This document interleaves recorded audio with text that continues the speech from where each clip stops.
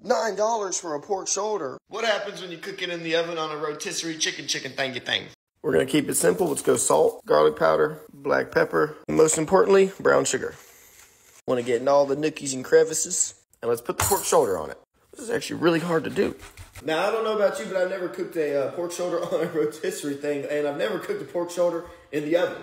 I don't know how this is going to turn out, but I'm excited to try it out. And also, shout out to RotoQ360. I'm not getting paid for this. They just sent it to me, so thank y'all so much for this. I'm excited to use it. It's also made for chickens, not pork shoulders. What am I doing, bro? I guess we wind this up.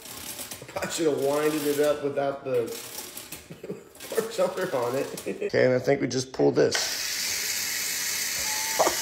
She's spinning. All right, we got the oven at 235 degrees. It looks so beautiful. All right, she's in the oven. Let's pull the tab. Bada bing, bada boom.